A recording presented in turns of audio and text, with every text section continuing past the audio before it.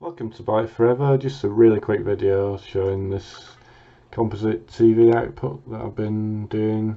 Um, so I've been, inspired by Ben Heck's videos on the ATtiny 10 uh, video games console where he's generating NTSC signal.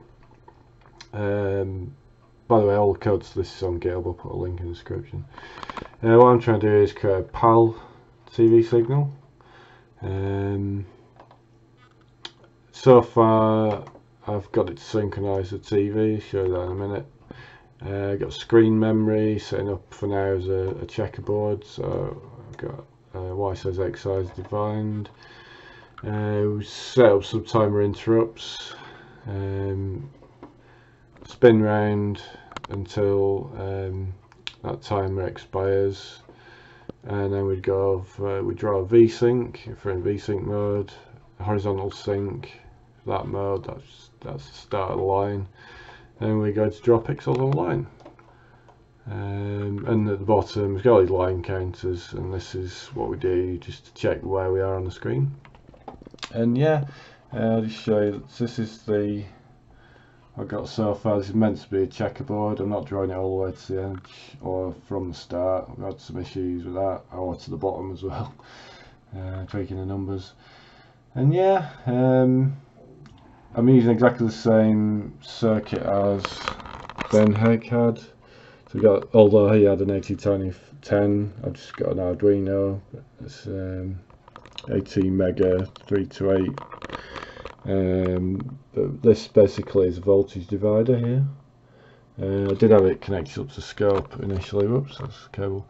Just to try and get the timing right and stuff. Um, Yeah, so still are some problems with uh, timing in a line. Um, see, the top top line is what it's meant to be like all the way down, but in checkerboard. But for some reason, there's like an extra delay happening here, and it progressively gets worse towards the end of the line.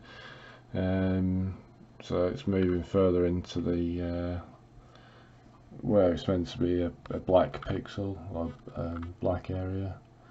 Um, so yeah all, all this there's issues here these all need sorting out. But it's really trying to optimize the loop uh, where I'm, I'm uh, drawing screen memory. And remember here we've got no custom hardware uh, to, to do any of this. All do, being done by what they call bit banging, which is uh, using software to output um, what really should be done in in hardware. Because with hardware you get the timing exactly right. Like for example if, if we just uh, change all this for a, an FPGA um, you know it'd probably probably be a lot easier. Or uh, for example in the Commodore 64 had the VIC chip and all the rest of the custom electronics to do that. So basically in in 1982 uh, they were way more advanced than this. but anyway, uh, it's just a curious, uh, interesting project that I'm doing. So yep, if you like the video, please give thumbs up and leave a comment if you like as well. Cheers, bye for now.